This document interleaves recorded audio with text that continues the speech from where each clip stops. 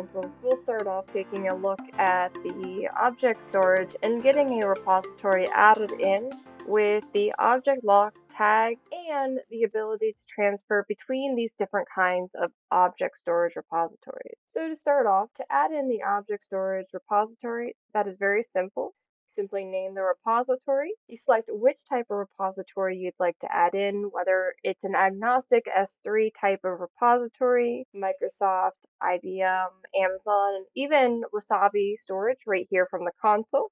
Add in your service endpoints or the specific credentials tagged to the public cloud storage types.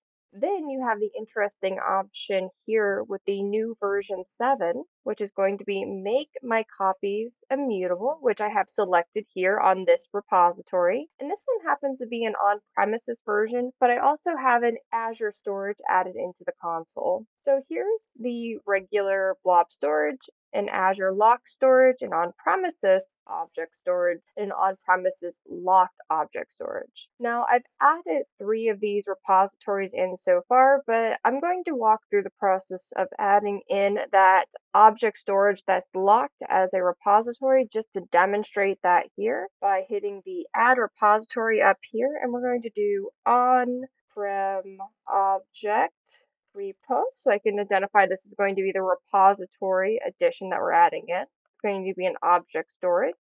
This will keep a local cache in order to create a repository for fast spinning up of, say, restore processes. And I already made a folder here, but if you don't have a folder, you can make a folder so it doesn't go to your main directory. Then we'll select the locked repository and you can add a password so you encrypt your data going to the cloud and you can manage your passwords for that and then you want to manage the past days that you would like to have the data to sit on that cloud entity, whether you need to keep this for a longer period of time for compliance or whatever that might be. Keep in mind, you cannot lessen the amount of days for a locked object storage, so you can only increase these amount of days. So make sure you're being very mindful when you're selecting these amounts of days on here. And that's all it takes to add in an object storage inside of the console. Now we can take a look at the job configuration. And I did pre-configure some jobs just to show that we can go between each of these repositories and it really does not matter whether or not it's an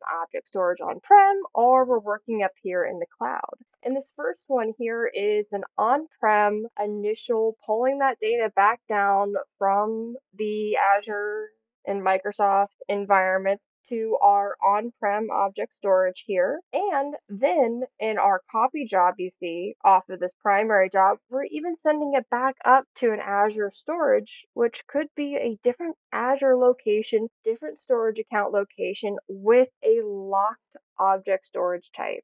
Now, what we're going to do with this direct to object storage in the cloud, we're going to pull this one back down on-prem and this one just has one of our high level users in it for setting up our proper exclusions. And as we can see, this does go to our Azure repository. So this could even be side by side in the cloud for fast restoration types of purposes. We can have the SLA that makes sense in this case. And we're going to just right click on this job and they follow the same policies as your primary job, of course, and send that to that newly created lock repository. So we're going to send that to that repo we just created. We'll hit next. We need to hit immediate. We can have it copy daily. So immediate it's going to do as soon as the backup job's got new data, we're going to immediately get that off to that copy job so there's not a huge gap between that data data in case there is some type of attack or malicious actor after this data. Or we can set up a periodic. So maybe we want